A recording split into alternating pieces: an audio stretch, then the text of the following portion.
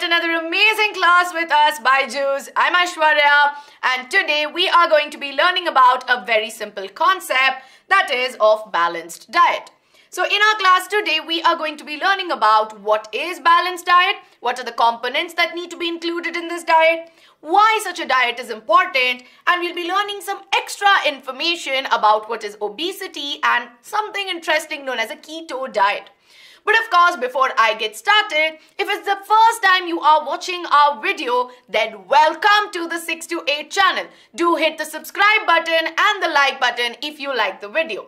And be part of our Telegram community because we give you a lot of updates in the Telegram community where we give you session notes, session PDFs, homework question, updates, and a lot more, right? So the link is available in the description box. Do join our community.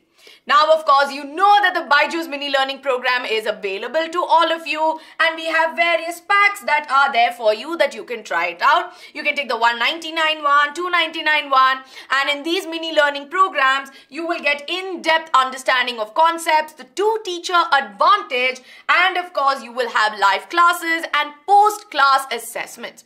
So do check it out. So now of course, without wasting any more time, we'll get started with understanding what is balanced diet. But before I tell you directly what is balanced diet, I'm sure all of you would have heard about or seen factories, right? So here what you see right behind you is a simple layout of a factory. And what do you see inside here? You see that there are so many machines, there are so many people working, and we see that all of them need to work together in an efficient manner so that the factory can function out or manufacture whatever is going on there. Now for these machines to work effectively, we see that all of it needs to be oiled well, right? So the machines require oil or whatever they require to fuel them, yes? So what you need to focus on is the word fuel. It needs to be provided in the right amount. Now you must be thinking, right? Ma'am, there's nothing like that. Like what if I give more oil? Machine should ideally work better. So let's have a look. Imagine I take a machine and I provide them with large amounts of oil. What happens is that too much of something is also very bad and we see that the machines may get damaged. But if you provide too little of it as well, it is of no good. Because too little oil will again cause a lot of damage to the parts of the machine and then again it will not work effectively. But if we provide the right amount of oil to it, right? So if we provide the right amount, then we see that the machine works efficiently. Now, surprisingly, our body is also the same. Because if we provide our body with the right kind of food, the right kind of nutrients in the adequate amounts, our body will function effectively. But if we do not have a proper diet and our diet mainly consists of junk food and very little of the essential nutrients, then we see that it can have a harmful effect on our body. And this type of a diet wherein we see that all the nutrients are present in the appropriate amounts or in the right proportions or another way of saying it is adequate proportions is what we call as a balanced diet. And this is extremely essential for the proper functioning of the body. So now we know that the nutrients that are there mainly include your macro and micronutrients, that is carbohydrates, proteins, fats, vitamins and minerals.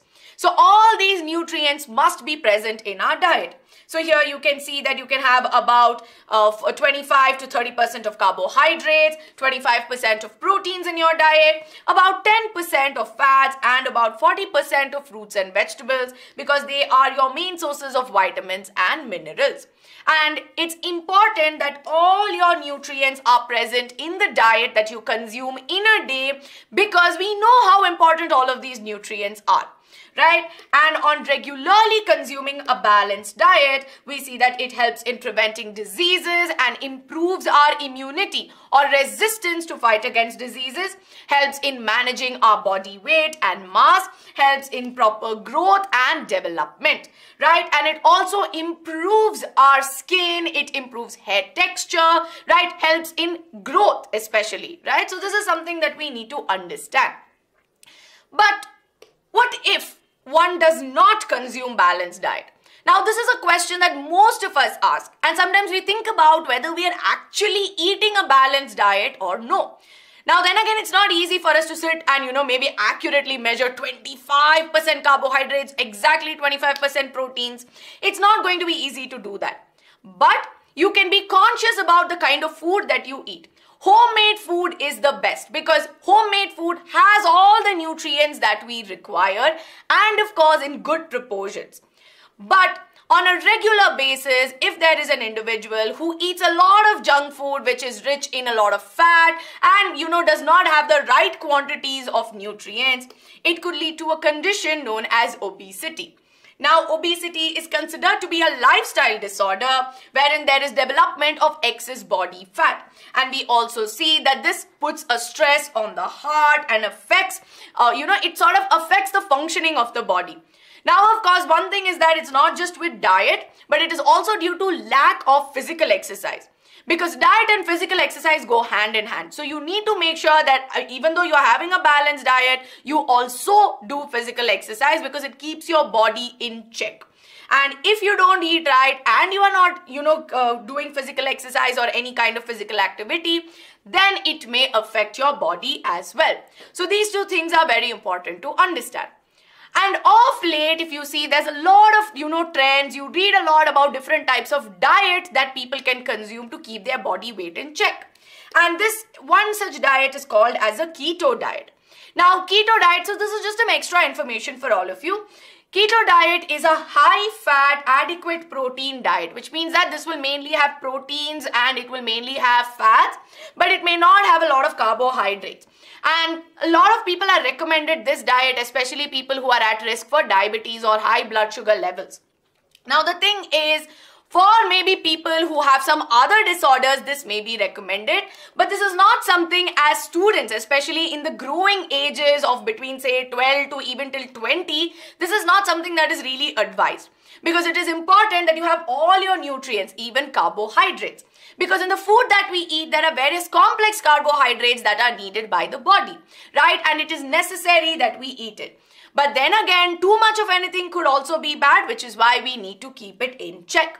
So what is the conclusion from all of this? That every nutrient is important and a ba balanced diet is necessary. So this was a very simple concept and I hope you enjoyed this. So let us know in the comment section below that if you want to know more about balanced diet or maybe some other kinds of diets if you want to learn more, do let us know in the comment section below because you know that we always check it. And the 6 to 8 uh, channel that is there is always here for you and we've got you covered. Now, of course, in case if you like this video, show us your love by hitting the like button, sharing this with your friends and subscribing to our channel. I hope you enjoyed this video. Hoping to see you very soon again. Bye bye and have a nice day.